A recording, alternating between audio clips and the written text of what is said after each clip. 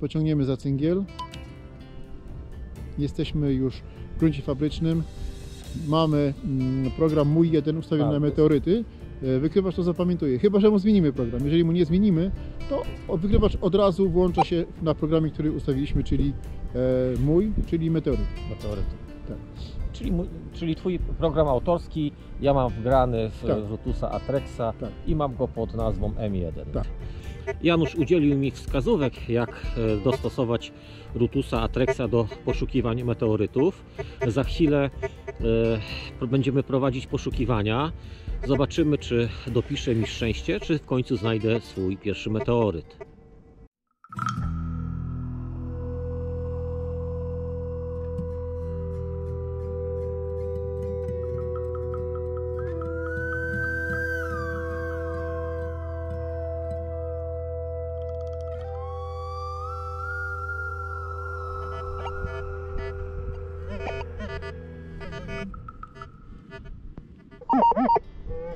Sygnał powyżej 80, zbliżony do meteoryta. Zaraz zobaczymy, co to jest.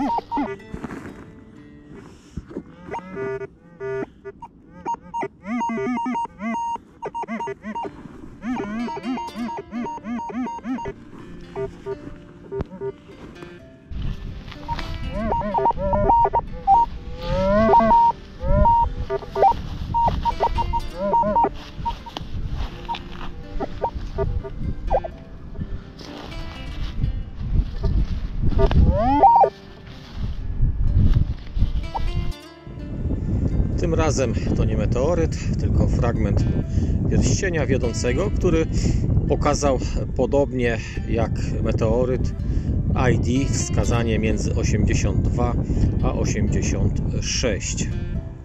Szukamy dalej.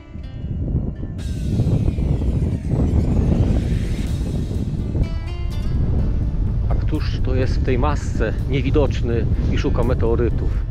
Astrokosmo, uwierzcie mi, pod tą maską jest łowca meteorytów. Witam serdecznie. Musiałem się ciepło ubrać, ponieważ warunki są na tyle trudne, że niby jest widno, jest troszkę słońca, troszkę chmur, ale mocno wieje i chłodny wiatr. Z tamtej strony, za chwilę, z tamtych chmur e, przyjdzie śnieg, będzie mała zadymka, no ale cóż, trzeba szukać w różnych warunkach. Jak mówi saper, nie ma złych warunków, trzeba się tylko odpowiednio ubrać. Także rozciągam szturki, szukam dalej.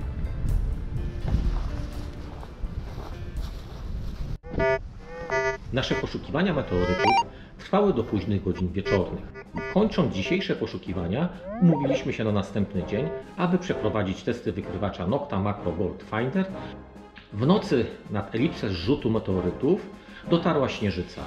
Nasze poszukiwania i testy kontynuowaliśmy na polu, które zostało pokryte białym puchem.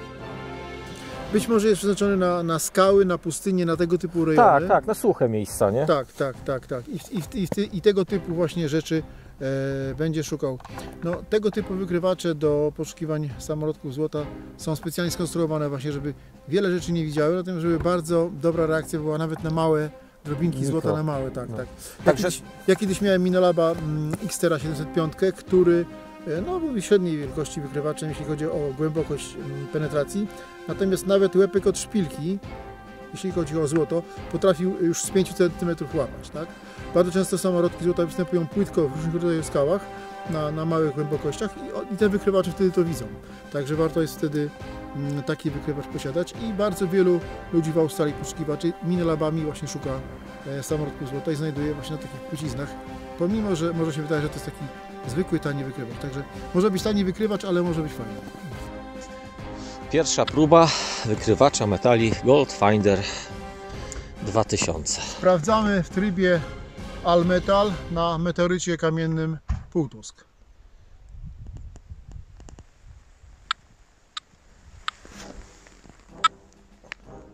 Słabiutko.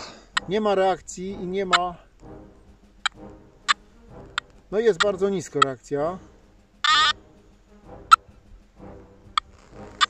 Zobaczymy jeszcze przy innych, innych ustawieniach.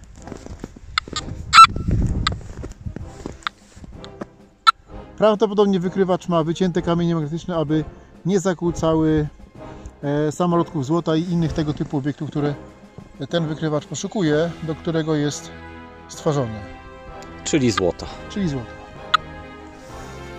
No jest jakaś reakcja.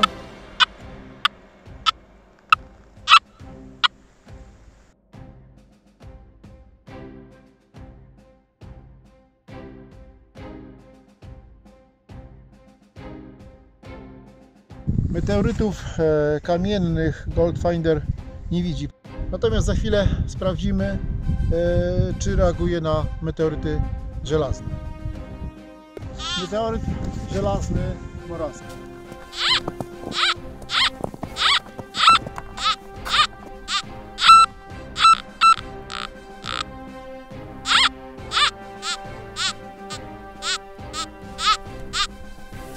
Widzimy, reakcja na meteoryt żelazny jest bardzo dobra. No oczywiście szukając meteorytów żelaznych będziemy musieli kopać e, wszystkie tego typu sygnały. Natomiast nawet tym wykrywaczem do poszukiwań złota możemy poszukiwać meteorytów żelaznych. Wy- Wykrywacz metali Goldfinder 2000. Widzimy meteoryty żelazne tego typu. Natomiast nie widzimy meteorytów kamiennych. E, Po prostu wycina je automat. A przypomnę tylko tyle, że e, wykrywacz metali Goldfinder 2000 jest w pełni zautomatyzowanym detektorem. Działa na zasadzie włącz i szukaj. Gdzie możemy tylko wybrać opcję dyskryminacji lub chodzenia w all metalu. Nie mamy tutaj żadnych funkcji, które mogą wspomóc jakby w, nas w ustawieniach. Wal metalu. No i teraz coś Ci pokażę. Jakbyś chodził machał cewką, wiesz, ta- tak, no to wiesz, takich obiektów jest trochę czy- czysto, nie? Ale gdzieś tu był. I powiedzmy, że jesteś na polu, jesteś powiedzmy, że na polu jest tego dużo, nie? I tak masz, tutaj masz sygnał, taki sam masz tutaj, tutaj, no byś się zgupiał. Ale jeżeli wiesz, że, że on Ci go bierze z takiej wysokości, nie? To jest mały meteoryt, nie? To sobie idziesz tak, idziesz sobie tak, już go nie widzi. Tego, tego śmiecia, już go nie widzi. Ale tego, rozumiesz? Czyli na podwyższonej Skręcasz sobie sztycę i niesiesz na przykład na centymetrach, śmieci nie będzie widział, ale trafi meteoryt, który jest ciutkę większy jak ten, albo taki, już go możesz capnąć. A nie nakopić śmieci. A na Morasku tragedia. tyle śmieci? Tak.